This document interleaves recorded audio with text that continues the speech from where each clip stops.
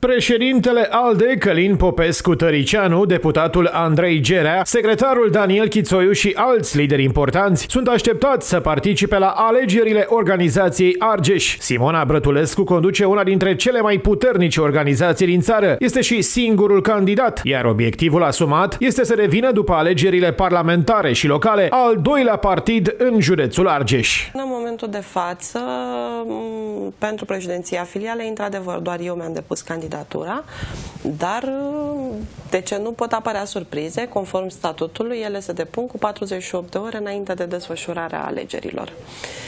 Pentru biroul județean, structura noastră este formată din 9 vicepreședinți și 19 membri, precum și 6 membri supleanți. De la Am... centru, invitați?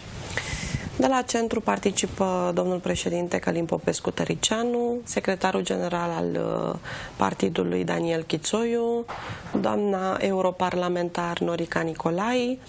Uh, vin uh, să participe la um, conferința noastră de alegeri, inclusiv vicepreședinți de consilii județene din țară, parlamentari,